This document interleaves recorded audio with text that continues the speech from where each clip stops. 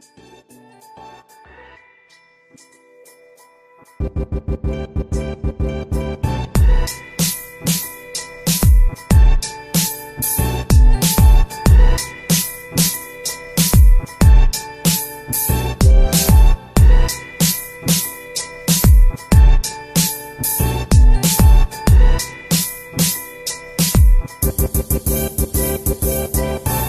What's going on, everybody, and welcome back to another episode of the Cougar Culture Podcast. You guys should know my voice by now. I am Dorian Alert. I have been a broadcaster, writer, uh, uh, and I am half, or I should say, one quarter of who President Repollet likes to call the voices of Kean University. Uh, I am, of course, not alone. Here comes another one of the, the quarter of the voices of Kean University. My partner, Jish Sokolsky. What's going on, Jish? Hey, here I come. How's it going, Dorian? Uh, I'm uh, very happy to be here again. Uh, thank you for having me yet again. And uh, you know, we're uh, we're headed towards playoffs, so uh, let's just jump right into it. Yeah. Yeah, you know, we'll we'll jump right back into it in a second. I do want to say thank you everyone for listening. If you are a returning listener or a new listener, thank you so much. Make sure that you keep up with us on Kean Athletics social media. You can find us at Kean Athletics on Twitter and Instagram. You can also listen to our episodes on Spotify, Apple Music, or you can go on YouTube, just type in Cougar Culture Podcast, and you will be able to hear our wonderful voices. But without further ado, let's start off with After the Whistle. So, Jish and I have been prematurely ending the men's volleyball season for quite a while now, but now it is officially over. They unfortunately lost in the ECAC finals but we did walk away with a few awards.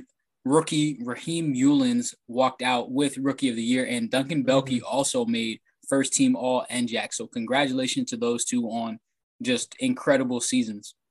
Yeah, and we we talked to well, this is going to come later, but we did talk to the men's volleyball team, and they have nothing but high praises for Mullins and of other uh, freshmen as well uh, Quincy Roy, both of them were very, very good, and they have such high expectations for the years to come for this squad. So, congratulations, Raheem. Congratulations, Duncan.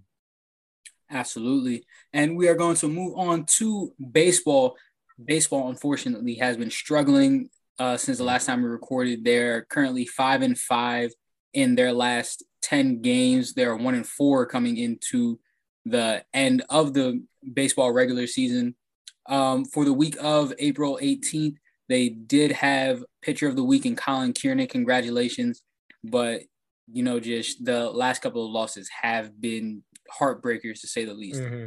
Two losses it, to Rowan by one run each. And you can speak on Montclair. Yeah, the, we, Montclair blew the doors off of us. There's no way around it. I mean, there were there were two games, and uh, Montclair outscored Kean by a total of 36 runs to one. They were shut out in the second game. Just really tough sledding for the Cougars late into the season. That's not what you want to do, especially going into the playoffs. Absolutely not. But I'm sure Coach Alvera will make sure the team is ready to play in their right. first NJAC playoff matchup. Uh, if we look at the standings of the NJAC at the end of the regular season, Rowan did come away with first place, followed by Montclair State, William Paterson, and Kean ended up with the fourth seed in the NJAC. TCNJ mm-hmm. ended up with five, and Ramapo with the sixth seed. Following Ramapo right. was Rutgers Newark, Stockton, NJCU, and Rutgers Camden to round out the NJAC. Yeah, we're playing uh, William Paterson on the road tomorrow. We're going to save that for uh, after the whistle, but playoffs are coming up, and we will be hosting the NJAC tournament at Kean. So uh, I'll be on the call for that. You're going to want to tune in. Absolutely, I'll, and you know I'll be I'll be roaming around a little bit, making sure I watch a little bit of baseball, a little bit of softball here and there. But like right. I said, we'll get we'll get into that a little bit later. Uh, speaking of softball, actually, softball has gone nine and one in their last ten games. They had Eliza Filers, who won Rookie of the Week two week two weeks in a row for the week of April 18th and April 25th. Mm-hmm. The softball team is rolling. Yeah, no. Speaking more on Filers, that's definitely that's not her first, first Rookie of the Week. It's not even her first Player of the Week. She has been on fire all season long. I would be shocked if she didn't win at least rookie of the year. She's been having a tremendous rookie season, guiding Kean along with other talents like Jen Mayorchuk and Gabby Fredette all the way to the second seed in the NJAC. Hey, you mentioned Gabby Fredette. She is a big hit and a home run waiting to happen. She's mm-hmm. hit several throughout the season, including an incredible grand slam that we heard John call last episode. She's she is absolutely incredible, and you know she's a really good shortstop as well. If if we look at the NJAC standings, Rowan did win the regular season title, going 30 and 8, 15 and 3 overall in the NJAC, but Kean tied with tied with Rowan, going 15 and 3 in the NJAC as well. They Kean came in second place, Ramapo came in third, TCNJ in fourth, Stockton in fifth, and Montclair State had the sixth seed. Following Montclair State was William Paterson, Rutgers Camden, Rutgers Newark, and NJCU ended the season at the 10 seed. And now it's on to lacrosse. Both men and women's both made the playoffs. We'll talk about the men first. It's been a very eventful season for them. A lot of blowout victories, but uh, a lot of their honors were a lot of their excuse me, a lot of their efforts were honored with the CSAC end of year awards.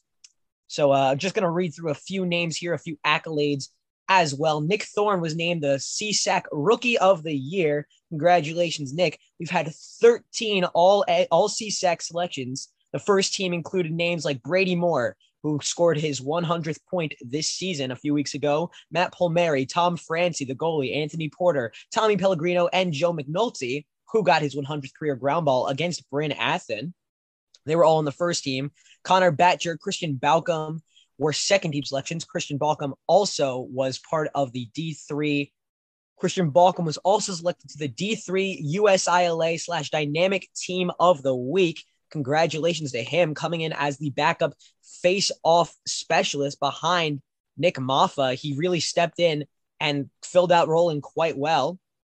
While Kenny Yeager, Steve Thorne, and Dante Magliano were all honorable mentions. Congratulations to those three as well. Alex Hufford was selected to the CSAC All Sportsmanship team. Congrats to him. As for their success this week, they did lose to Montclair State in their season finale, but they will be seeing Montclair State again in these CSAC playoffs. Let's go through some of those standings. Stockton came in first with a 6 0 record in the CSAC, 14 and 2 overall. Montclair State in second, 5 and 1 in the CSAC, 11 and 3 overall. Kean went f- coming in third, got four and two in the CSAC, 10 and five overall, and Rosemont rounds out the playoffs at three and three in the CSAC, eight and nine overall. Cairn, Bryn Athyn, and Keystone all just missed the cut. And as for the women, they barely sneaked into the playoffs in a must win game over Stockton this past weekend. It was quite a great match, and they are now in the playoffs. Uh, I thought it was all over after they lost to Montclair State uh, the match prior, but they were able to find their way into the four seed. It was a great season for them as well, and I'm glad that they have extended their season the standings in the NJAC for women's lacrosse. TCNJ is in first as per usual. Rowan in second. Stockton in third. Kean rounds out the playoffs with Montclair State just missing the cut. Ramapo and Rutgers Camden rounding out the entire NJAC. And we will be playing TCNJ in the playoffs. So we kept it close last time. So there's no need to give up hope now. Hey, I remember watching that game. You know, TCNJ had a big first quarter but we came back in the second quarter and made it made it a close one, six to five overall in, in the first half. Kept it kept them scoreless in the entire in the entire second quarter, and you know it just got a little bit away from them in the in the second half. But like you said, Jish, it was close, and I'm looking forward to this matchup. If we head over to another sport, women's tennis, unfortunately, their season has ended. They finished the season 0 and 5, including uh, loss against Rutgers Camden. Um, you know they had they had a good, relatively good season, six and ten. They've been improving every year, so next season will be an interesting one. If we look at the NJAC standings, TCNJ, to no one's surprise, TCNJ finished in first place in women's tennis.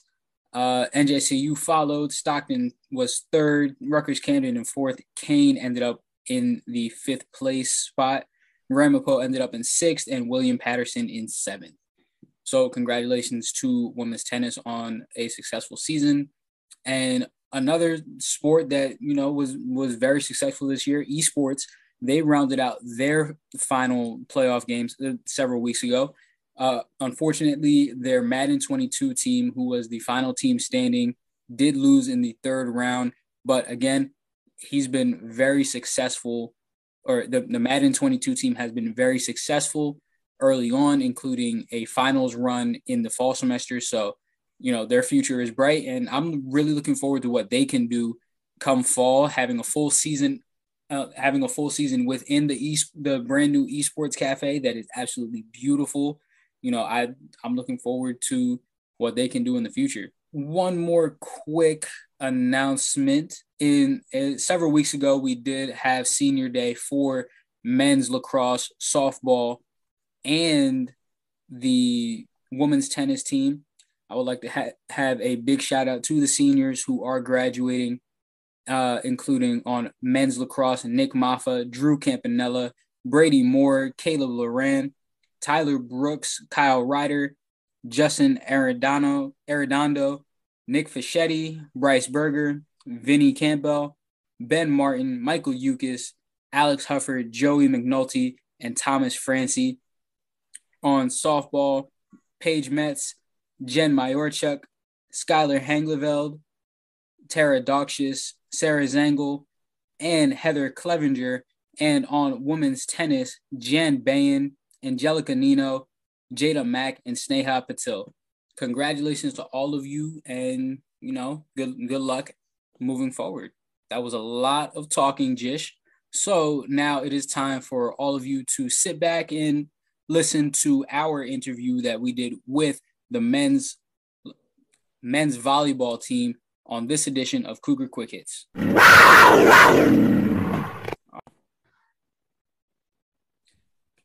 Joining us on the podcast now are four seniors from the men's volleyball team. We're joined by Duncan Belike, Zach Noll, Maxwell Thompson, and Cris Naranjo. What's going on, guys?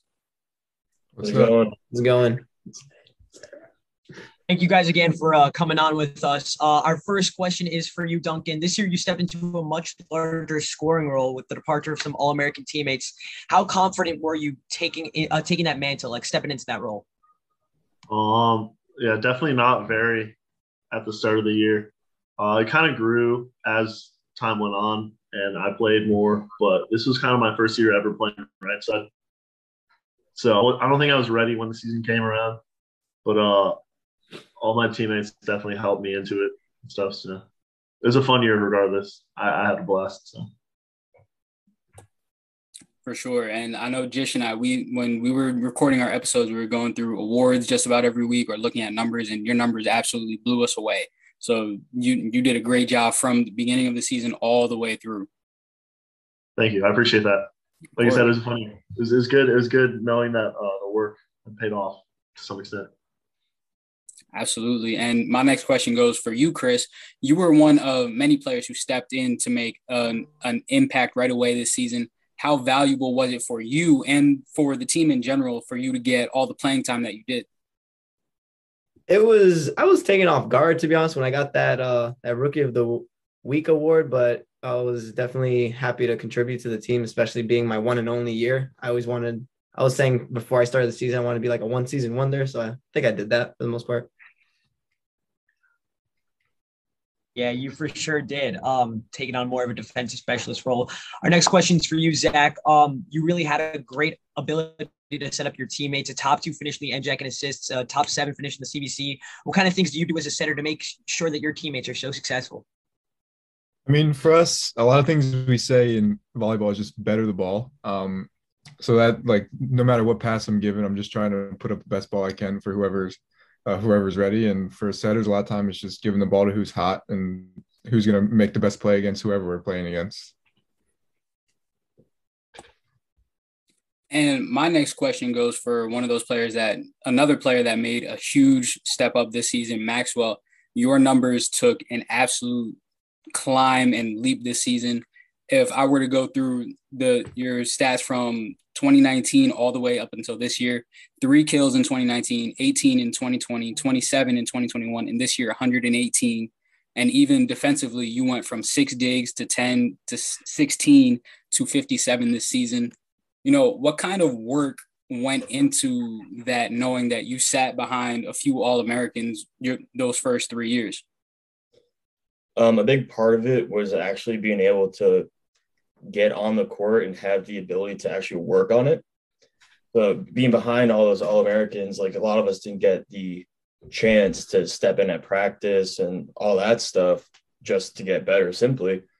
And then, you know, not having the biggest roster really gave opportunities to players like Duncan, Zach, myself from you know, the last three years where we had 22 as the average player roster and we had like 16 this year.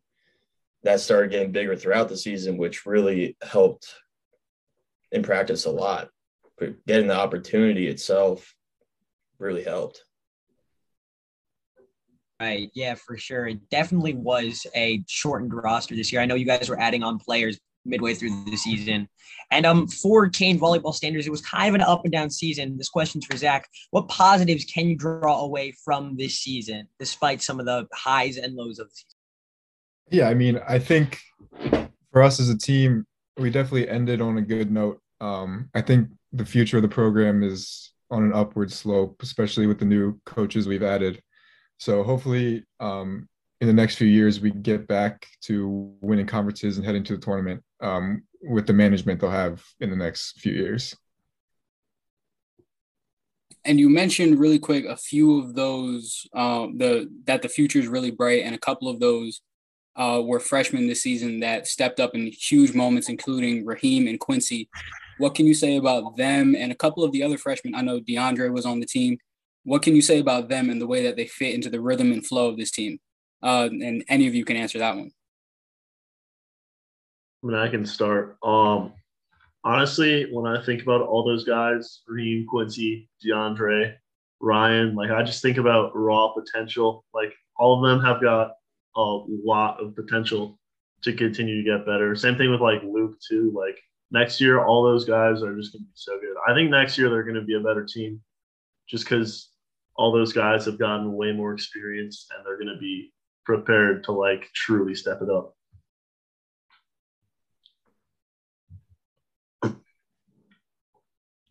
I mean, I can speak especially on behalf Uh, of if anyone Raheem. I mean, Else wants to I think we're losing a little bit. a little bit. All right. Anyways, for Raheem, I mean, for him, it definitely comes down to a little bit uh, of experience. Like the kid is a freak athlete. If you've watched him play, you've never seen anybody jump like that naturally. Like it's unfair to a lot of us. Um, so I think for him, he'll probably go back home to St. Martin, play a lot of beach, which will help court awareness and making smart decisions. So I think he and Quincy next year are going to have a crazy year if they both keep playing a lot. Yep. we got you back, Jish. Sorry about that. No um, uh, all right. Our next question is for you, Duncan, as well. Um, you walked away from the season with several awards, including an All CBC selection. What does that award mean to you? Um, it means a lot for sure. Uh, I feel like all the hard work finally kind of paid off. Um, I don't know. I it, it's like I put in my time and now it's finally you know it's all happening. But like I could have gotten there without everyone else in the program. Um, so I would take it as a program wide award more than anything, right? Like I can't do anything if I don't get the passes, and I can't do anything if I don't get the sets. So, you know, we mentioned it. All of you guys are seniors, so and and you were all honored on senior day. So, I we really want to know what's next for all of you.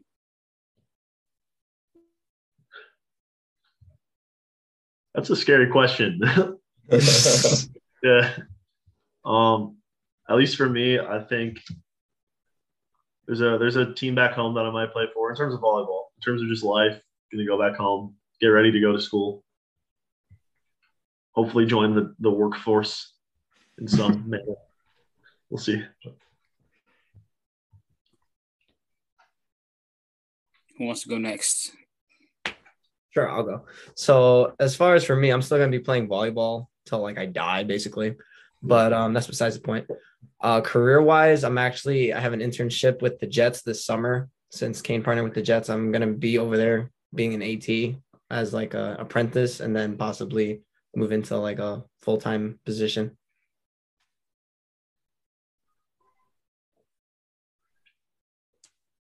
Uh, I'll go next. Mine's no. uh, it's not like glamorous or anything. I have another semester left, so I'm planning on in that semester to get my certification in personal training and possibly become a licensed nutritionist, if possible. And then you know figure it out from there. For me, um, in terms of volleyball this summer, hopefully be playing some grass tournaments with my boy Duncan. Pottstown, baby. Get Yeah. maybe, yeah.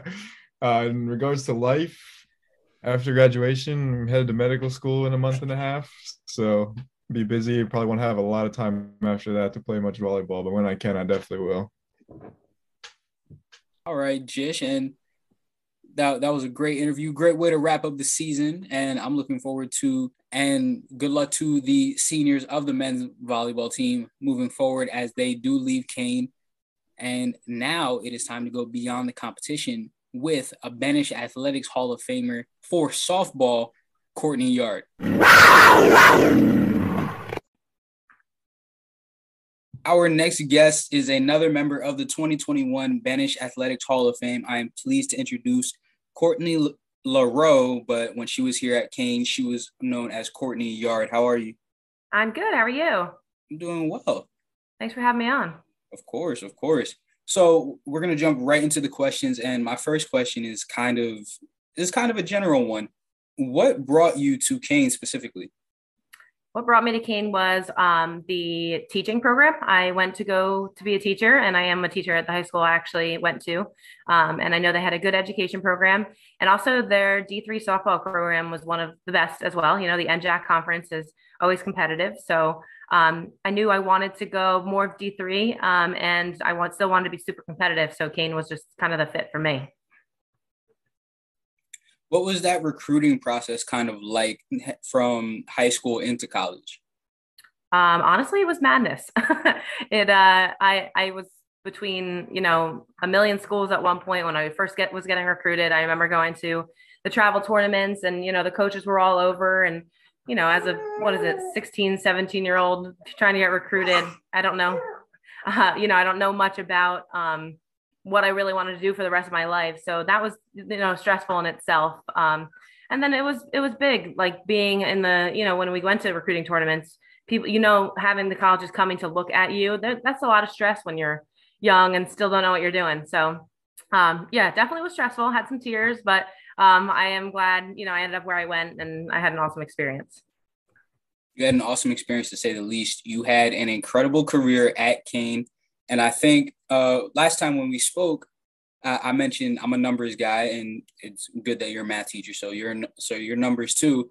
But your ERA is incredible, and your win loss record is also absolutely amazing. You had an average ERA of 1.45, but the the numbers themselves in 2012 1.68 2013 1.34 2014 1.46 and 2015 your final year it was actually at 1.36 so absolutely incredible numbers. What kind of led to you having that kind of success? Um, i definitely credit a lot of my success to my family and my past coaches. Um, my parents were always there for me during you know all the years of travel ball all the years of training uh, my dad and I would always be out in the garage throwing in the basement or in the yard, always doing something all the time. I remember like Fourth of July, right before we went to a picnic, he was like, "All right, let's get on the field real quick," and it was like nonstop. But that you know made me into the player that I was, and I if I didn't have that support, I definitely wouldn't have been you know as successful as I was. Um, and the coaching, I mean, I had a pitching coach growing up my whole life um, that was super consistent for me. I was with him often.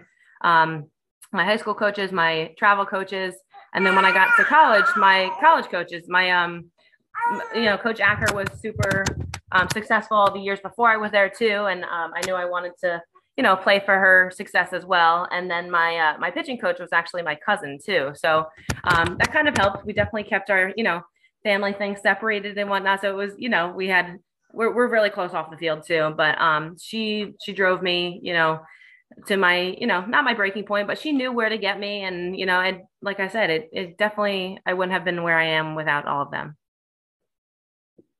Absolutely. Another incredible uh, accomplishment that you had is you have you've thrown two perfect games and a no hitter. What kind of pressure is there like when you're in the middle of those games, especially nearing the end? I think it's one of those things where it's like you look at your teammates and we're all like, we know what's happening, but don't you dare say anything. Don't you jinx it.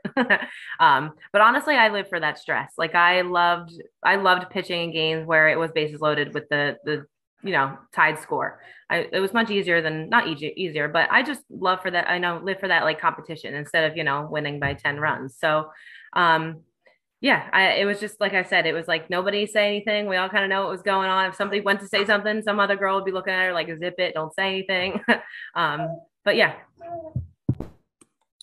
of all the awards that you uh amassed while you were at Kean, I can go through some of them. National Fast Pitch Coach Coaches Association Association All American, you NJAC Pitcher of the Year, NJAC Rookie of the Year, ECAC Pitcher of the Year. Which one of the accomplishments means the most to you? Um, honestly, my goal, you know, was to hopefully be All American at some point, and I did get to achieve that my senior year, which was awesome.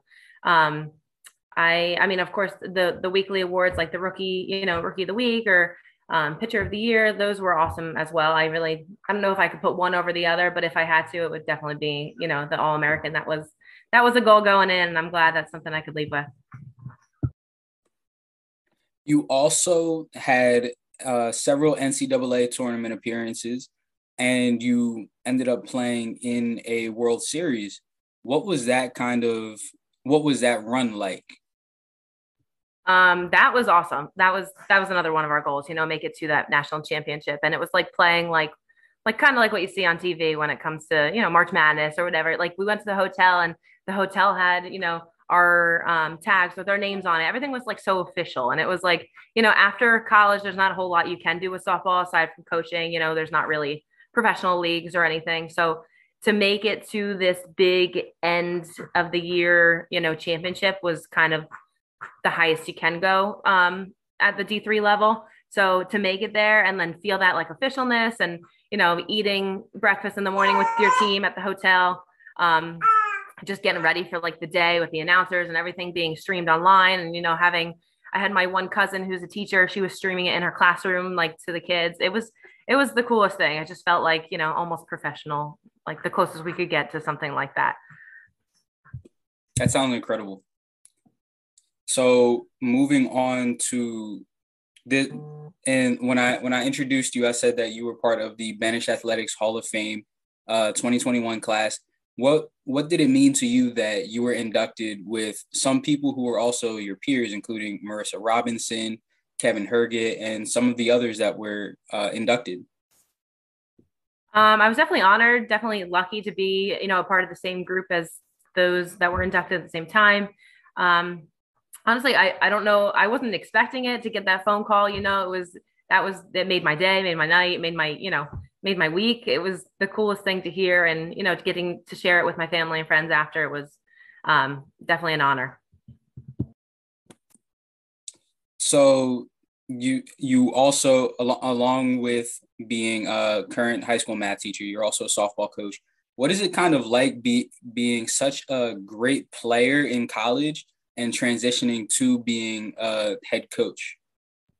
Um, honestly, like I said before, with there not really being much of a path after college softball, um, coaching is the next best thing. You know, I try to coach the player I was through the players that I have. Um, you know, sometimes I wish I could just grab the ball and get out there and do it, you know, like I used to, but definitely it's been too long. I don't know if I could do it like I used to, first of all. um, but it's just like I, I'm big about the mental side of things. I like to talk to the girls about, you know, what kind of counts or like as a pitcher, the, the mental side to it too. Cause not, not a lot of that is always talked about. And I like to kind of learn it, like, you know, teach them from a younger age too. Um, but yeah, I, I love coaching. Um, I play slow pitch softball. It's still nothing compared to what it used to be, but um, yeah, I'm hoping to coach for a while. Got one more question, and we've already kind of heard him in the background a little bit. You are a new mother. Congratulations. Thank you. What is it like, you know, having or having your own child? Um, yeah, I know. I, was, I, should have said that earlier when he was, you know, making his noises in the background. But um, yeah, I have a three month old. Um, it is the, you know, I just said coaching is an awesome job, but honestly, it's so cliche. But being a mom is the best job. Uh, it's only been three months. Uh, he's, you know, the best. I, I love it. I wish I could stay, you know, home with him forever. But I do love teaching and coaching, so I'll be going back to that shortly. Um, but you know, hoping that he uh, will get in the backyard throwing a baseball soon. We'll see. Another amazing segment, Dorian. Thank you so much for that interview. It was very, very insightful. Now it is time to look at the week ahead playoff edition for the spring sports, Dorian. To start us off, let us look at some baseball action. Unfortunately, as we said previously in the show, Kean kind of on a slide uh, on a slide to end the season, losing four straight. But they will be playing William Paterson in the playoffs on the road.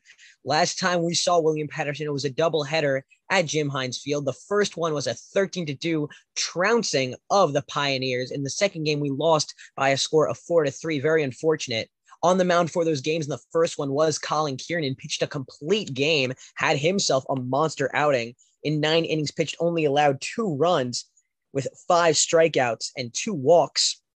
Only two of those, yeah, all both of those runs were earned. In the second game, we had Diefenbach, Daniel Keenan, and Gianni Morano on the mound. Diefenbach pitched five and point two innings, allowing four hits with uh, three strikeouts and three walks. Keenan pitched 2.2 innings with two strikeouts, and he got the loss for that game because William Paterson took the lead while he was on the mound. Unfortunate there, but I anticipate it's going to be the same thing. Diefenbach and Kiernan have been our two aces all year long. They've been atop the NJAC statistically and and uh, in our hearts as well. So hopefully they can emerge from that with a victory and then come back to Kean for the NJAC tournament where they uh, look to pull off some upsets. Absolutely, I'm looking forward to it. Uh, on the other side, literally on the other side, we'll be talking about softball. They will be playing at at Kean University versus Stockton in their first NJAC game on Tuesday, May 3rd. That'll be a very exciting matchup. The last time these teams saw each other, Kean actually swept the doubleheader. They won the first one seven to five, and in the second game, that ended up being called in the sixth, Kean won that one eight to nothing. So, hey, Kean Kean's got a real shot here. Don't want to jinx anything, but it'll it'll definitely be an exciting game to watch. Absolutely. Now going into men's lacrosse, Kean, as we said, secured the three seed. Will be visiting Montclair State tomorrow to face off against them again. Last time they played was the season finale. Kean dropped that one by a score of 16 to 11. One thing Montclair State is really good at is face-offs, and they really had the better of Kean, winning 22 out of 29. Definitely something Kean needs to improve on. They own that second quarter, so if Kean can just limit the run, the runs that Montclair State goes on, they have a real shot of pulling off the upset and then seeing Stockton in the finals hey, it'll be well, again. No, no. I mean, you know what? I, I, I, obviously it's not a done deal. They're playing Rosemont, but in the CSAC, it's been pretty obvious all season long. The New Jersey teams heavily outmatch the Pennsylvania teams. I don't expect it to be close between Stockton and Rosemont. Uh, not in the slightest. Um, looking forward to women's lacrosse as well. They will be playing in the first round of the NJAC playoffs. They will they will travel to Ewing, New Jersey to take on the TCNJ Lions in the first round of the playoffs. Like we mentioned earlier, Jish, this was a very close matchup the last time they played on April 16th. TCNJ did take that one 13 9, but there were some very good and positive signs from the Kean Cougars in in the game. And this is the playoffs. Anything can happen. All right, Jish, I had a very fun episode. Looking forward to a lot of playoff sports in this upcoming week, and you know it, it'll it'll be fun. And before we go, I do know you have a very, very quick announcement. Uh, I'm so happy for you because you did commit to college. Oh yeah, yeah. I was I was wondering. I'm like, I do. Yeah, I um. So as you guys may or may not know, I'm actually a high school senior. I'm part of the partnership program with UCVTS. So this was my senior year of high school, and it's been such a pleasure to do the Cougar Culture podcast and to, of course, call the games. But um, I did uh, apply and commit now to the University of or Syracuse University um, for the class of 26. I will be majoring in broadcast and digital journalism. And obviously, Kean's going to still be a part of my heart. I'm still going to keep up with Kean. There'll always be my D3 team for sure. But um, yeah, I'm very excited to share that with you guys. Thank you. Thank you so much for being a gracious audience and uh, for allowing me to be part of your family for this year. Absolutely, Jish. We wouldn't have had it any other way.